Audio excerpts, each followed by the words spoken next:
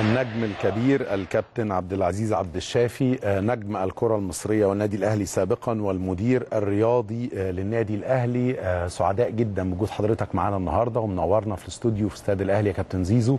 وإن شاء الله يكون لقاء طبعا شيق جدا للجماهير وبالتأكيد بوجود حضرتك معانا. ونقدر نعرف كل الأسرار وكل الحاجات اللي حابب تتكلم عنها جمهور النادي الأهلي. بإذن الله أنا بشكر حضرتك جدا يا أستاذ محمد وأنا سعيد أكتر آه، بوجودي معاك ومع المشاهدين.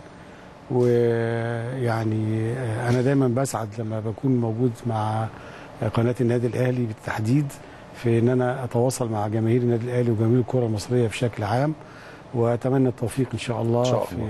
الحلقة. إن شاء الله. وعشان كده وعشان إحنا حريصين على تواصل الجمهور بأكبر شكل ممكن مع حضرتك وحب الجمهور اللي شفناه في لقطات كتيرة في التقرير السابق اللي تابعناه مع حضرتك ومع مشاهدينا.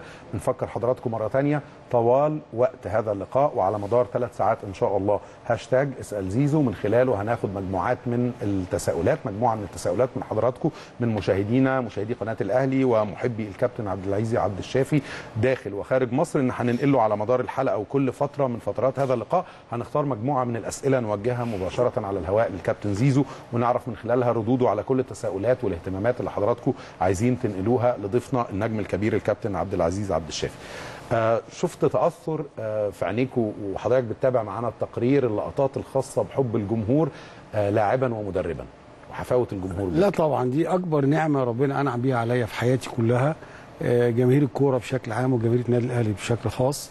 لأن دي نعمة لا تقدر بمال وبتمثل قيمة والقيمة دايما بتفضل في تاريخ البني آدم وبتفضل معاه ملازماه باستمرار ودايما بتبقى آه، يعني آه، بتديله دوافع وتحدث له الدوافع لما بتقدم الدوافع وبتخليه دايما في موضع مسؤولية آه، محببة إليه لأن أنت لما ربنا يديك موهبة أو يديك قدرة على إنك أنت تسعد غيرك ده شيء عظيم جدا ونعمة كبيرة جدا.